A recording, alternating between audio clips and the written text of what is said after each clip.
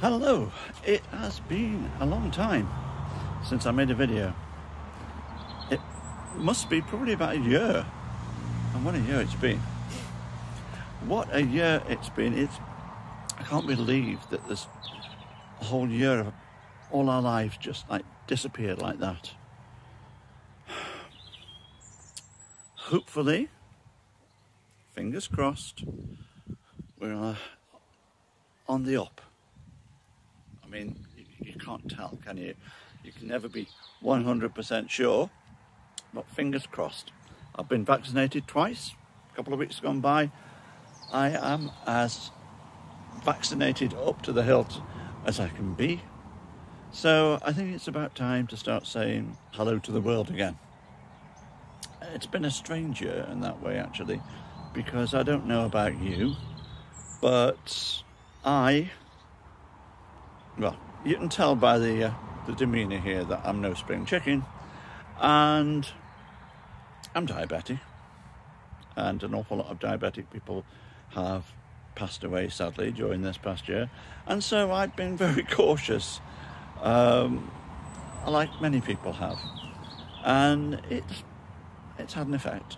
It's had an effect on I don't know. I don't like that term mental health very much, but it's it's affected the way I've sort of been facing the world. And one of the things that's happened during that time is I have stopped painting. Now, in the run up to um, to, to lockdown, I was painting all the time. I was painting a lot, and I was really on a roll. And when lockdown first started, I was determined to keep going. But after two, three months of being here all the time and not really going out hardly and all the rest of it, it somehow faded. And I got back into music. And now that, I don't know whether this makes any sense to any of you out there, but I found that I'm I can only do one thing at a time in, in, in a creative way. I'm a sort of, I can't really work in parallel. I can't multitask. I, am a serialist, so to speak. Uh, if I start doing something, all my creative energy tends to go that way and it fades off from other directions, you know? So, this last few months, I've been doing music, music, music, music, all on my own. I mean, it would be lovely to get out and play with some people again. Um, and hopefully, hopefully this year, yeah, I'll, I'll be able to do that. But um, just me alone in the studio, recording and playing and writing songs and all that sort of thing. And that's the way the last few months have been. But it's time to get out into the world again. And so it's time to start painting again. It's time to start getting out there, plein air painting, getting out amongst people so people can talk to me, people can see my work, see what's going on, and, and all the rest of it. So this video is me saying, Hi world, here I am, I'm back. And I thought, well, how, how shall, what shall I do? I mean, it's all right just doing a little video and saying this, but how, hmm, how shall I sort of introduce the world of painting back into my life and my painting back into your lives. Well, I thought it was about time that I gave you a tour of my studio. I know people like that. I like that. I like to see people's studios. It won't take very long because it's the smallest studio I've ever had. Over the past, oh my goodness, years that I've been painting, I've had lots of different studios.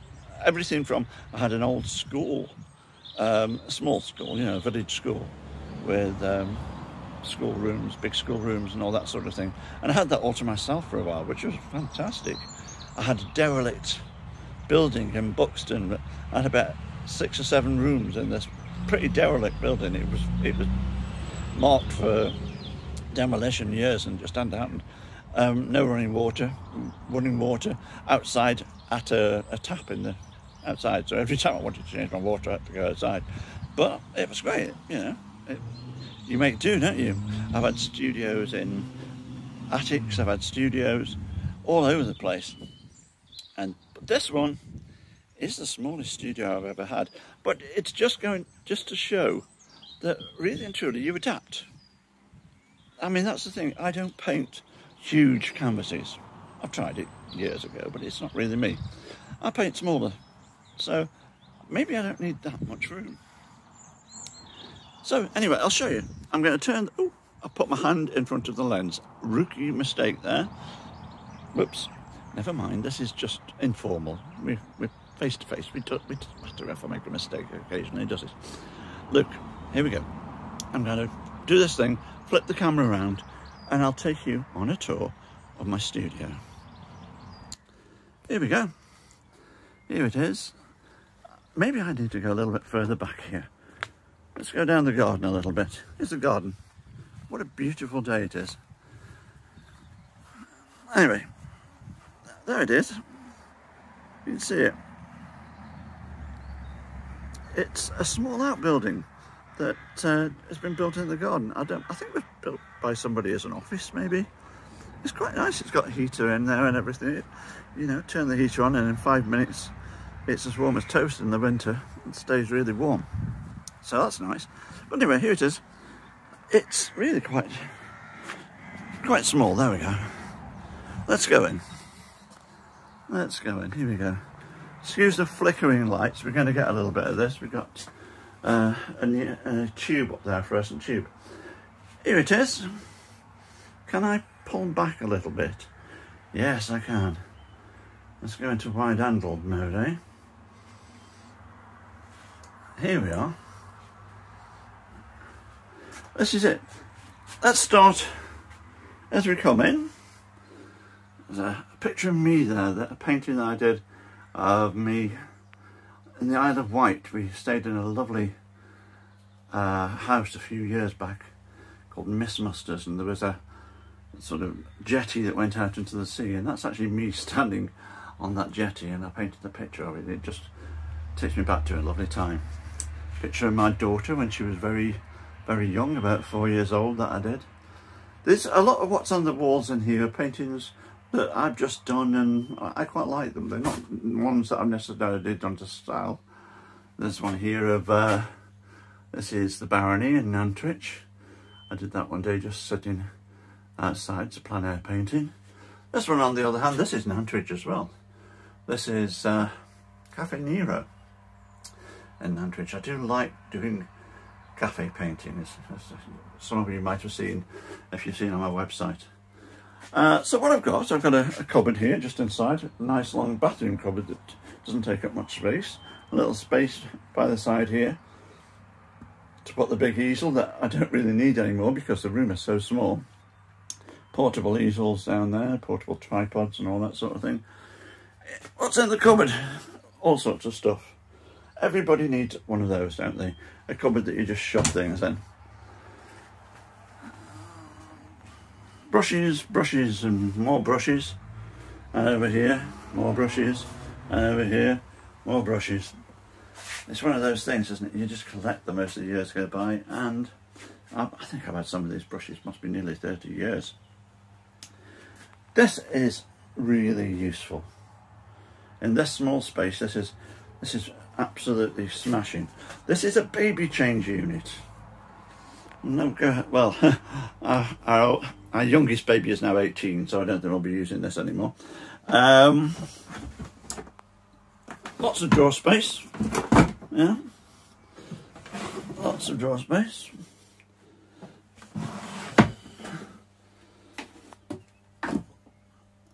One of the great things is, move those out of the way, this, because this means as the top comes over, I've got myself, you see there with the, the high stool there, that is a smashing table for sitting and painting watercolours. So if I'm going to do a watercolour, I'll pop that down and uh, paint on there. Great thing is, of course, then that I can put it back up there, gives me more space for the oil paintings, which I do in a different way. What I've done is I've covered the end wall of this small room with a piece of chipboard Uh, I've got an extra computer monitor up here that I got a Freecycle. Somebody gave it to, gave it to me, which is very nice of them. And uh, what I do when I'm painting is I just fix the board that I'm using, or the canvas or whatever, to the piece of chipboard with screws using the trusty uh, power screwdriver there. It only takes seconds and you can make as many, put as many screw holes in it as you want. It's only a piece of chipboard, um, but it's great. It means it's firm, it doesn't move, it ain't going anywhere. It's on the end wall. I can move back as far as I want to. I'm out in the garden now and I can really get a bit of distance between me and the canvas, which is really good. When you're painting inside a room, it's very quite often, quite very difficult to pull back far enough. But this is great. I can pull back and get a different angle on it. It's very important to step back from the canvas now and again to really see what you're doing. On the wall here, little fuse box, uh, and underneath the fuse box, I've made a little rack to hang my palette knives. Uh, I don't know whether any of you saw the paintings that I was doing before lockdown, but uh, a lot of the paintings that I was doing then were knife painted, and that's the way I'm going to be going back into it when I go back into it uh, in the next few days. On the stand here, I've got uh, um, you know a, book and thing, that sort of thing, a pile of palettes.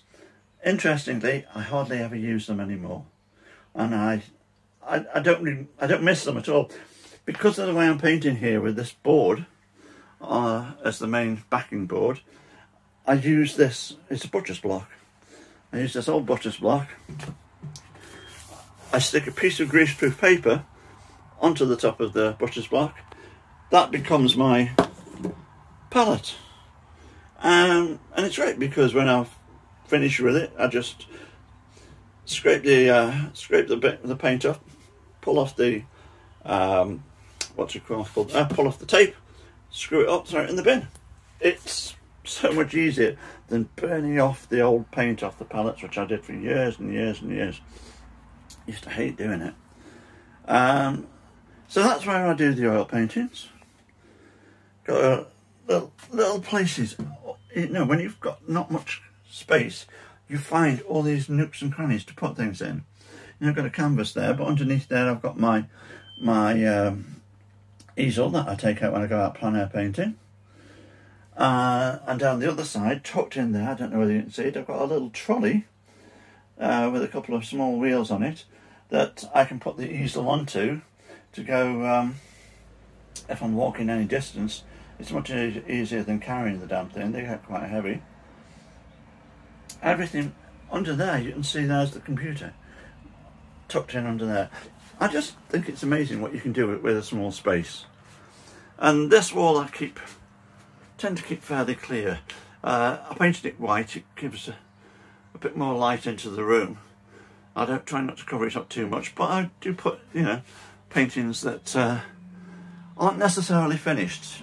I mean, that one's finished, that one I did a few years ago. Um, but that one there, never quite sure whether I finished it. Um, it's sort of sitting there and maybe uh, uh, if I get bored one day I'll take it down and maybe do something else to it, I'm not sure. This one, I've been working on this painting. I don't know, I, I, we all got one of these. I've been working on this painting for years. On and off, on and off. I'll keep putting it on the easel, doing a little bit more, putting it on the easel, doing a bit more. This is um, an ice cream shop. It's on the Rue des Abbesses in Paris, in Montmartre. And, uh, well, it's nearly our, it's nearly our, what, seventh wedding anniversary. So seven years ago, we went on honeymoon to Paris and in the evenings we would go and sit in this coffee shop, uh, an ice cream shop and have an ice cream and it's sentimental and I took a photograph of it while we were in there and I, I, like painting people I like painting people doing things people sort of involved in life That's the thing that I really love painting more than anything. So this is going to be going to be finished in this next couple of months, I think, and uh, framed. I'm going to put it on the wall in the living room. It's uh, not for sale. This one. This is it's sentimental. Got to have a bit of sentiment, haven't you? Got a bin down there. Everybody needs a bin. That wonderful heater heats this room up within a couple of minutes, and uh, everybody needs a um, an apron, don't they? And that's it. Not much in here, I don't suppose, but an awful lot, I suppose, actually, when you look at it another way. Uh, I just thought you might like to see it. You know, it's no great shakes, but it's fairly tidy. It has to be tidy, otherwise it becomes totally unworkable. I don't know whether you've ever seen those photographs of Francis Bacon's studio. If you haven't, go on, go on to Google and type in Francis Bacon studio and have a look how that man painted anything in that room. I have no idea. I don't think he ever threw a tube of paint away and he just left them all piled up for years and years and years. Well, I don't know. Some people, eh? Anyway, that's that's that. Let's uh, let's turn the video around again. So, that's it. It's, it's small, but it's cosy and it works. That's all you need, really, isn't it? Anyway, that's uh, that's all I wanted to say. Really, I just wanted to say hello again. It's been a long, long year, and I wanted to say hello. I'm back. I'll say back. I've been nowhere, but I'm back. I'm coming back into the world. Wait and uh, see what happens and all that sort of thing. Look out, world! Here I am, and all that.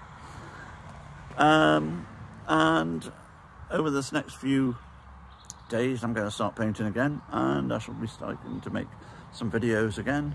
Uh, if you'd like to follow me on YouTube while I do it, I'd be uh, lovely to have some more subscribers.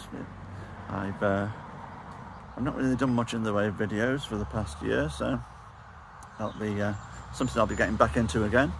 And uh, yeah, I hope you've all survived and I hope your loved ones have survived. If you've had a hard time, you have my greatest sympathy, believe me. It's been a, a horrible, horrible time. I just hope that uh, it won't be long before we turn to one another and saying, do you remember the pandemic? Do you remember that COVID time when we all had to stay in for a year and, you know, hopefully it'll be a distant memory and uh, probably one that we all like to forget. Anyway, the sun's shining. It's a beautiful day here in uh, sunny Cheshire. And um, so I'm going to go make some tea. And uh, I'll see you all in the next video. Bye-bye.